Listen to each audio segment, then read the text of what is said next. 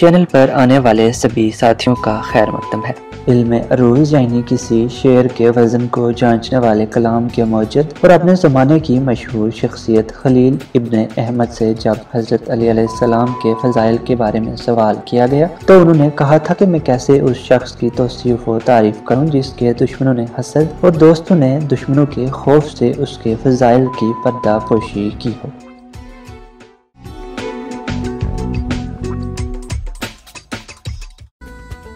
ये पेशकश इस अजीम शख्सियत पर है जिन्हें अमीरमिन मुर्तज़ा असदुल्ला यदुल्ला नफसुल्ला हैदर करार, साकी कोसर अबुल हसन और अबुल तराब के नाम से भी जाना जाता है और जो कसीम नार वल जना यानी जन्नत और जहन्नम को तकसीम करने वाले हैं। जिनके करामात का हर मुसलमान ही नहीं, बल्कि गैर मुस्लिम भी कायल है और तमाम अदियान के लोग जिन्हें अफसल तरीन शख्सियत मानते हैं।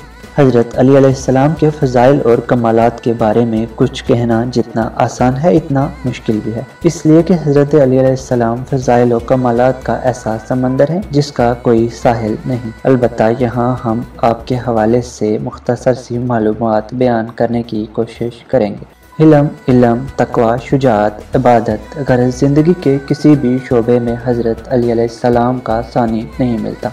जब हज़रत अलीम की विलादत का वक्त करीब आया तो आपकी वालदा माजिदा जनाब फातमा बिनते असद काबा के पास आई। आपने दुआ की कि अभी एक लम्हा नहीं गुजरा था कि काबा की दीवार शक हुई, जनाब फातमा बिनते असद काबा में दाखिल हुई और ये दीवार दोबारा मिल गई। जनाब फातमा बिनते असद तीन दिन तक रुए ज़मीन के इस सबसे मुकदस मकान में अल्लाह की मेहमान रही और तेरह रजब को वहीं हज़रत अली की विलादत हुई। विलादत के बाद बाद जब जनाब फातमा बिनते असद ने काबा से बाहर आना चाहा तो दीवार दोबारा शक हुई। आप काबा से बाहर तशरीफ़ लाए और फरमाया, मैंने गैब से ये पैगाम सुना है कि इस बच्चे का नाम अली रखना।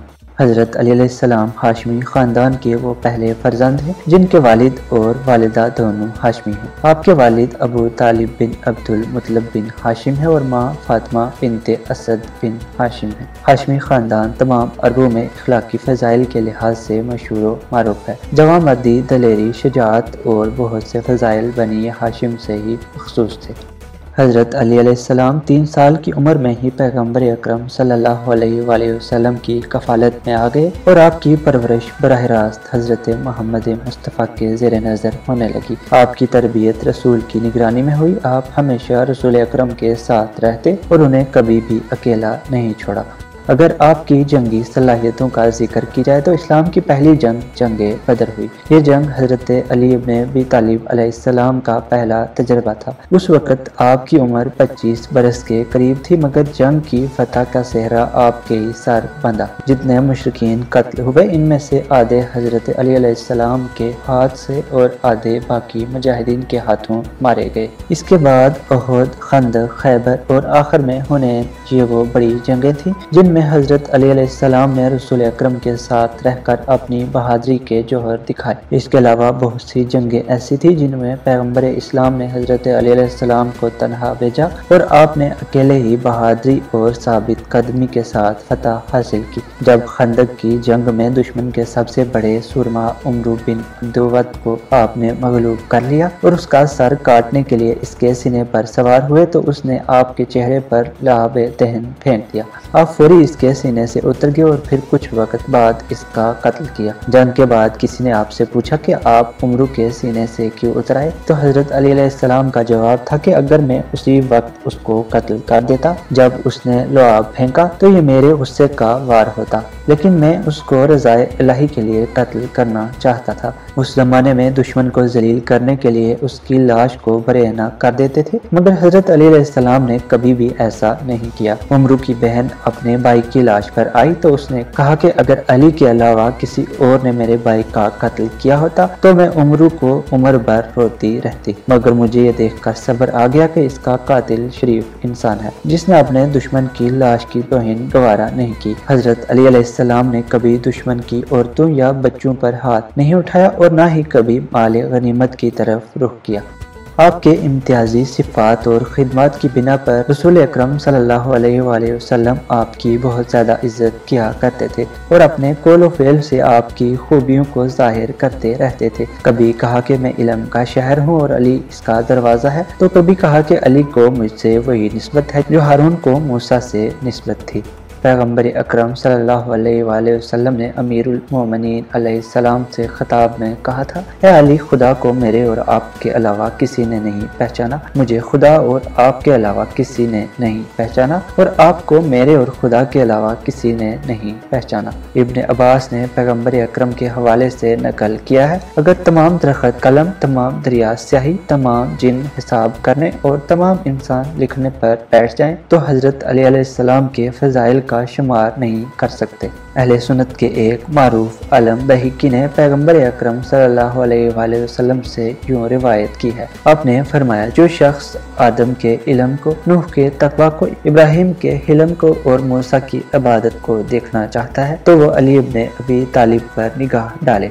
जनाब अमार बिन यासिर को मुखातिब करके एक दिन रसूल अक्रम ने कहा था है अमार, अगर तुम देखो कि अली एक तरफ़ जा रहे हैं और दीगर तमाम लोग दूसरी तरफ़ जा रहे हैं तो तुम अली के साथ हो जाना और बाकी लोगों को छोड़ देना। इसलिए कि अली गुमराही की तरफ़ रहनुमाई नहीं करेंगे और राह हिदायत से अलग नहीं करेंगे। जब महाजरीन व अंसार में बाई का रिश्ता कायम किया गया तो हज़रत अलीम को पैगंबर ने अपना बाई करा दिया। अपने आखिरी हज के मौका पर गदीर खून के मैदान में मुसलमानों के मजमे में हज़रत अली को अपने हाथों पर बुलंद करके आपने ये ऐलान फरमा दिया कि जिस तरह मैं तुम सबका हकीम और सरपरस्त हूँ, इसी तरह अली तुम सबके सरपरस्त और हकीम वसल्लम के बाद हज़रत अलीसम ने 25 बरस खाना नशीनी में बसर किए। बिल आखिर मुसलमानों ने खिलाफत इस्लामी का मनसब आपके सामने पेश किया। तो पहले तो आपने इनकार कर दिया, लेकिन जब मुसलमानों का इसरार बहुत बड़ा तो आपने इस शर्त से मंजूर कर लिया कि मैं कुरान और सुनत पैगंबर के मुताबिक हुकूमत करूँगा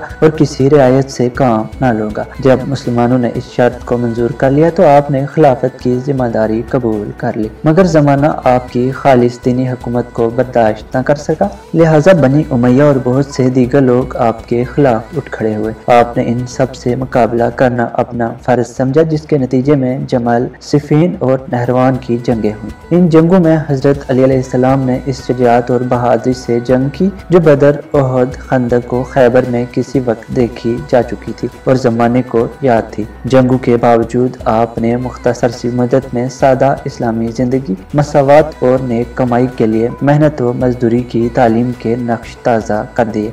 आप शहनशाह इस्लाम होने के बावजूद खजूरों की दुकान पर बैठना और अपने हाथ से खजूरें बेचना बुरा नहीं समझते थे। पुराने कपड़े पहनते थे, गरीबों के साथ ज़मीन पर बैठकर खाना खा लेते थे। जो माल बैतुल माल में आता, उसे तमाम हकदारों के दरमियान बराबर तकसीम कर देते थे। यहाँ तक कि आपके सगे भाई अकील ने जब ये चाह कि उन्हें दूसरे मुसलमानों से कुछ ज़्यादा मिल जाए तो आपने इनकार कर दिया और फरमाया कि अगर मेरा जाती माल होता तो ये मुमकिन था, मगर ये तमाम मुसलमानों का माल है। लिहाजा मुझे हक नहीं है कि मैं इसमें से अपने किसी अज़ीज़ को दूसरों से ज़्यादा हिस्सा दूँ। आपकी कोशिश ये रहती कि जो कुछ बैतुल माल में आए, वो जल्द से जल्द हकदारों तक पहुँच जाए। आप इस्लामी खजाने में माल को जमा करना पसंद नहीं करते थे।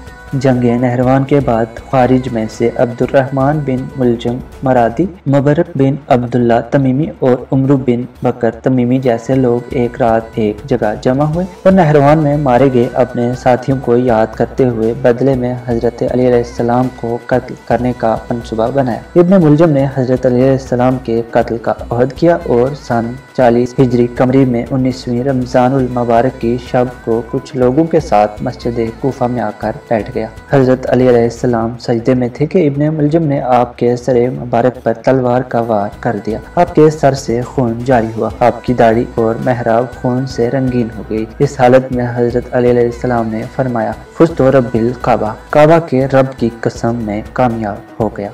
हज़रत अलीम अपनी ज़िंदगी के आखिरी लम्हात में भी लोगों की असलाह सादत की तरफ़ मुतवजो थे। आपने अपने बेटों, अजीज़ों और तमाम मुसलमानों से इस तरह वसीयत फरमाई। मैं तुम्हें परहेजगारी की वसीयत करता हूँ और वसीयत करता हूँ कि तुम अपने तमाम अमूर को मनज़म करो और हमेशा मुसलमानों के दरमियान असलाह की फ़िक्र करते रहो। यतीमों को फरामोश न करो, पड़ोसियों के हकूक की रियायत करो। कुरान को अपना अमली नसाब करार दो। नमाज़ की बहुत ज़्यादा कदर करो क्योंकि ये तुम्हारे दीन का स्टोन है।